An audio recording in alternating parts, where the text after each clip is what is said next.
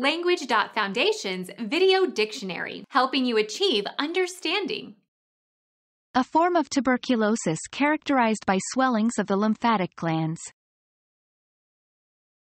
Scrofula, struma.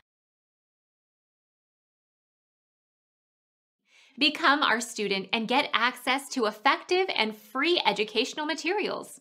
Subscribe to our channel to become a part of our growing community and to learn English effectively.